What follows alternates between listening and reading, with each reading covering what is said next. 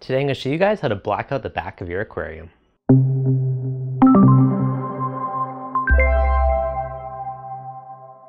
What's going on guys? Devin with Reef Dudes. If you're new to the channel, make sure you guys hit that subscribe button and that bell. And today I'm going to show you guys how to black out the back of your aquarium.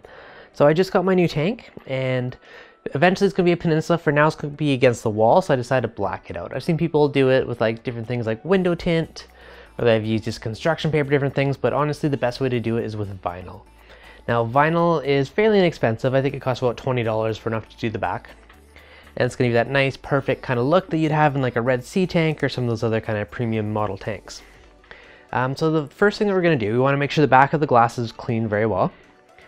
And to do that, we're gonna take a spray bottle. Uh, ideally, pressure ones are way easier. You can do it the ch -ch -ch ones, but it's a little more work to do it that way, just because you gotta keep doing it. This one, you just hold the button down, you got a constant flow. And this is hot water with just a couple drops of soap. Um, baby shampoo is the best one to use. And if you don't have that, you can use regular dish soap, just use a drop or two. And the one other thing we're gonna need is a squeegee. Now, if you have an oversized piece, you can put it on and then just use a razor blade and trim the edges afterwards. If you go to a sign shop or someone, they cut it for you, you can get them to cut to the exact dimensions, you don't have to trim afterwards. So one of the reasons that we're using a, a couple drops of baby shampoo, this is kind of like the wet application method and it gives us a little bit of wiggle room to get things perfect before we fully stick it to it. So squeegee, spray bottle, a couple drops of soap, and some vinyl. So we're gonna pump it up, get some pressure, and I'm just gonna start by squeegeeing the glass to make sure it's nice and clean. Oh, don't forget towels. Lots of towels on the floor.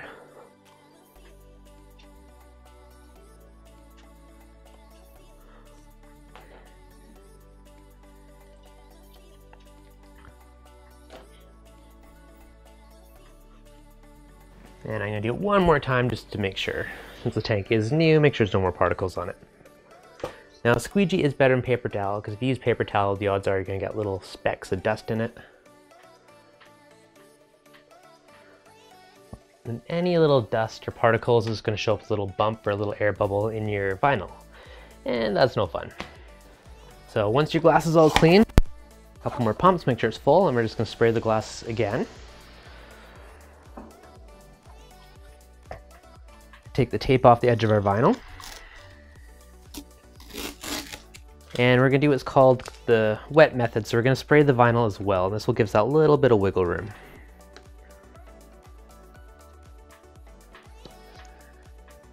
Just gonna start peeling it. And we start peeling it, give it a little bit of spray.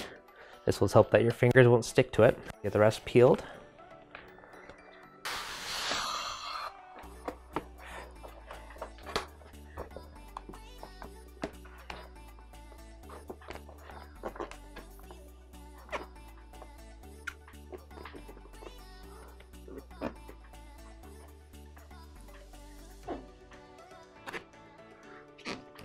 And once you have your first edge about perfect, give it a little shot of water.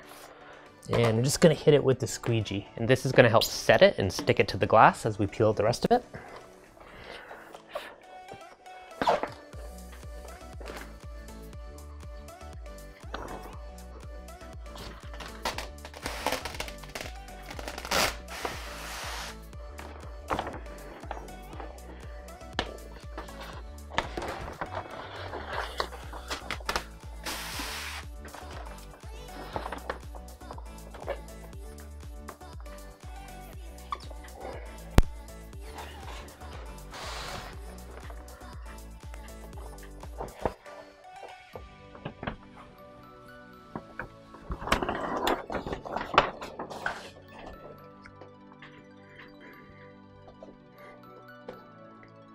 Go along the edge, make sure all our seams look good. Uh, especially pay attention to that top edge. Um, the other ones have a little bit of wiggle room. They're not as, you don't have to worry about those as much. I'm gonna shoot the whole thing again with water. And if there's any bits of kind of bubbles in it, just peel it back, shoot with water, so it gives that bit of wiggle room. And we can shift it around until all those little edges are gone.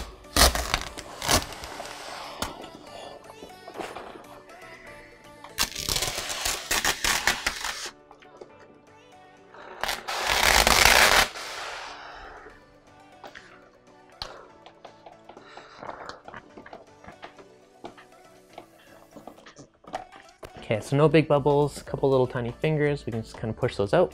Shoot it one more time with water. And now we're gonna squeegee it out. So if we do a strip along the top, it's gonna set our vinyl.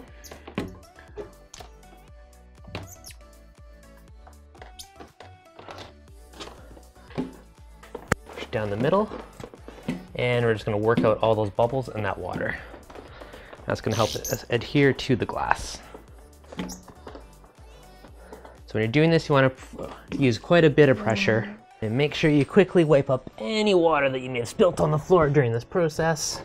We're definitely spraying a lot around and it does find a way pretty much everywhere. Okay, so we got our floor wiped up. Now if there's any little edge that potentially your vinyl is too big, you can just go right along the edge of it with a razor blade and run along the edge of the glass and just cut off that little extra strip.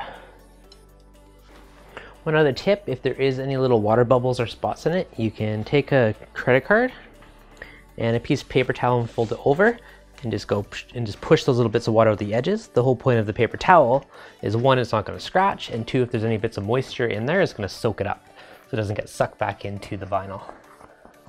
So blacking out the back of your tank really isn't that hard at all to do. We did that pretty quick and easy. It was pretty inexpensive. Um, so hopefully you guys learned something. Don't be afraid to do it. It's a really easy project and gives it a really nice, classy, crisp look. I'll link all the stuff I use in the description below If you guys got any questions, let me in the comments. If you enjoyed it, smash that like button. If you're new, make sure you guys subscribe, and I'll catch you guys on the next video.